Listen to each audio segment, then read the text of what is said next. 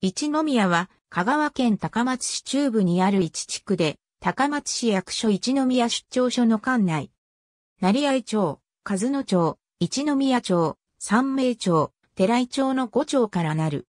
かつては、寺井町を除く全域が香川郡一宮村として存在し、1956年9月30日に高松市に編入された。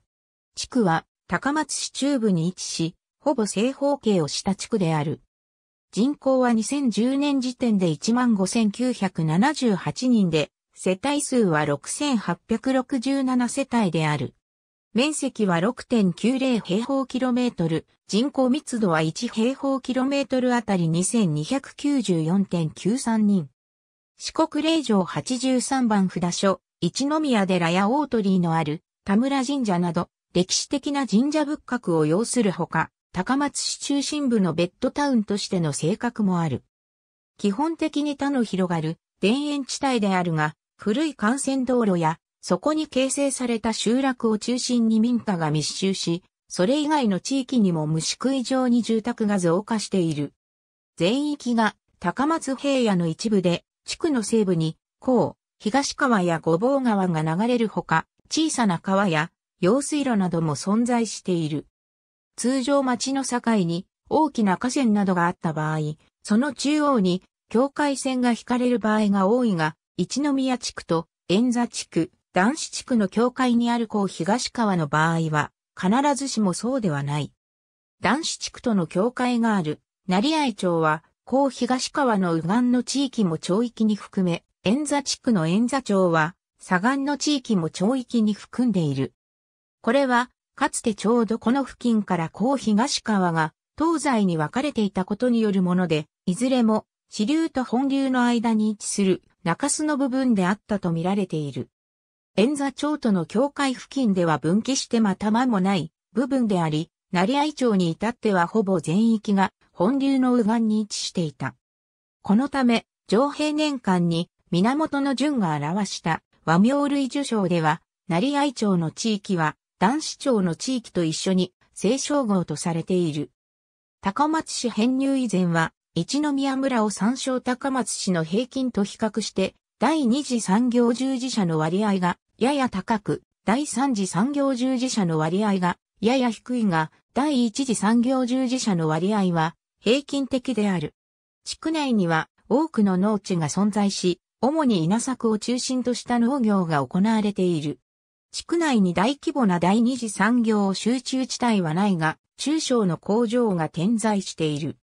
地区内の小学校は、私立一宮小学校が存在し、中学校は、香川大学教育学部附属高松中学校と、私立一級中学校が存在する。小学校区は、一宮小学校が、地区のほぼ全域を校区としているが、成合町の内港東川右岸の全域と市営田中団地は、地区外の男子小学校の校区である。中学校区は、一宮小学校の校区がそのまま一、旧中学校の校区となり、男子小学校の校区も、円座地区にある私立校東中学校の校区となる。太字の校名は、地区内に位置する学校で、それ以外は、地区内には、位置しないが校区が地区内にかかっている学校。この地区は1956年以降高松市の一部であるため地区単独での自治権は持たない。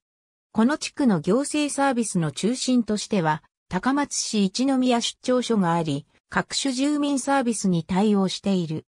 またそこは公民館も兼ねていて、一宮コミュニティセンターとして地域交流、生涯学習の中心となっている。地区内を通るバス路線は琴電バスの香川中央高校、日清ニュータウン線と、湯佐、池西線の2路線が存在する。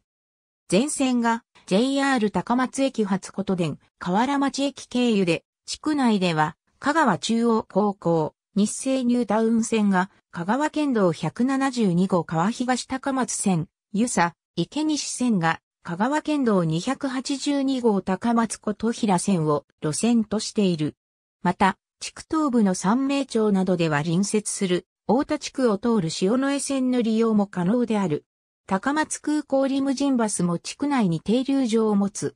基本的に高松市東部小高松地区の前田山にある高松局を受信する。